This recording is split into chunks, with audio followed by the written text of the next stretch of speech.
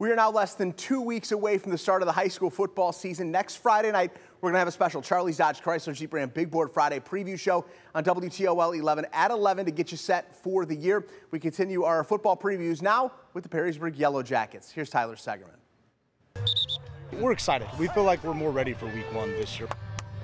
Following an 8 4 campaign and Dirk Connor's first year at the helm, Perrysburg football enters 2022 with a new sense of rapport. We're further along than last year, no doubt about it. I mean, we're all just more familiar with each other, familiar with schemes, terminology, things of that nature. So there's been less learning curve um, this year. We're all kind of more focused this year. Obviously, we're not adjusting to a new coaching staff too, the same coaching staff as we had last year. So I feel like we're ahead of schedule, like where we were last year. But we got to keep pushing through it.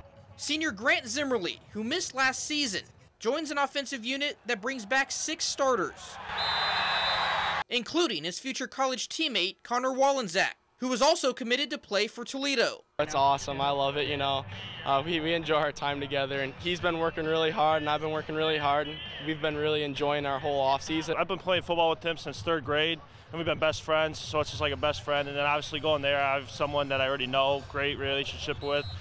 The Yellow Jackets return experience at the quarterback position as well, with signal caller TJ Tackett once again guiding the attack. It's nice to have experience at those offensive skill positions, especially. I mean, you know, it's it's first time in my coaching career that 85, 90% of your offensive production comes back. Ready, ready, so go, go! Two years removed from a Northern Lakes League title, Perrysburg is poised to keep winning an annual trend. Yet, the focus for this team right now centers around themselves, not the scoreboard. We want to come in every day and get better. You know, we want to push ourselves, have fun doing it, and you know, ultimately that's the best way that we can look at the at the end of the season and say we did this. The Yellow Jackets will kick off their year on the road with a trip to Dublin Jerome. In Perrysburg, Tyler Segerman, WTOL 11.